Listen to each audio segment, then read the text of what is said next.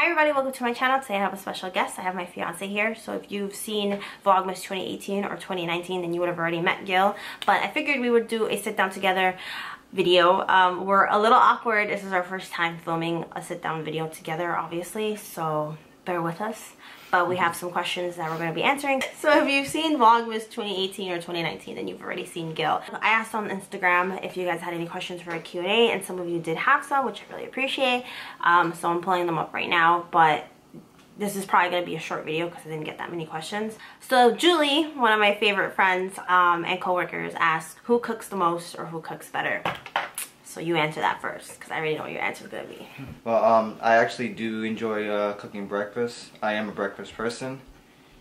There will be times where like 7 o'clock at night and I'm dying to go to IHOP. So I definitely enjoy breakfast the most out of all my meals. So I would say I cook the most as far as breakfast, but... I think you also cook a lot of meat. Like you can cook the meat. I, I have a thing about touching raw meat.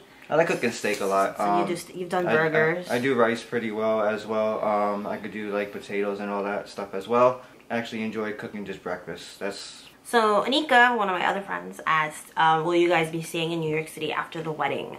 So we were originally going to do a wedding series or a wedding planning video, but because of this virus, things have gone on to be even more delayed than they already were. So um, will we be staying in New York City? Yes.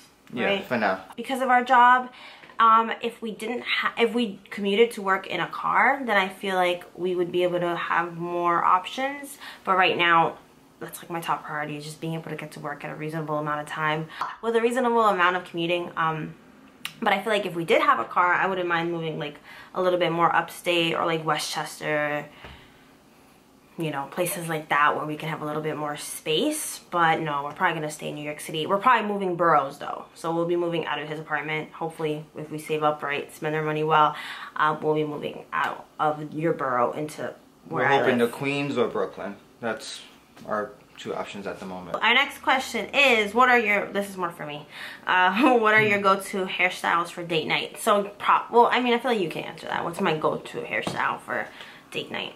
Straight hair. Sure. straight hair for sure. Straight hair. Yeah, I have straight hair right now. Um, Even though she does look beautiful in curly hair, but she just won't admit that. She doesn't feel as confident in curly hair, but I think she looks great in it.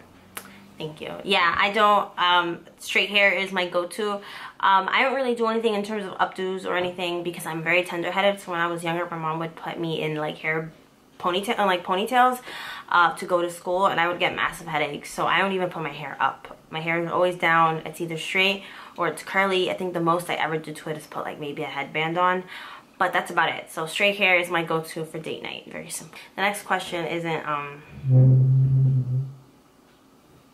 the next question isn't my neighbors. The next question is not uh, product related. Eh, the next question is not about um, couples, but I'm going to answer it anyway. It's uh, not couple related, but what products do you use to enhance your curls? Because I do have a video coming up where I talk about my curly hair product collection. Any gels, any mousses, I tend to get the most hold from. So anything from Miss Jessie's, anything from Shea Moisture's coconut and hibiscus line are things that give me the most hold uh, without being super crunchy. I don't really mind crunchy curls, honestly, if they look good from afar, but whatever. Anyway, um, so that's it for our questions for now. I did this poll last night, so I don't know if there's any point in waiting to see if any more will come up. question?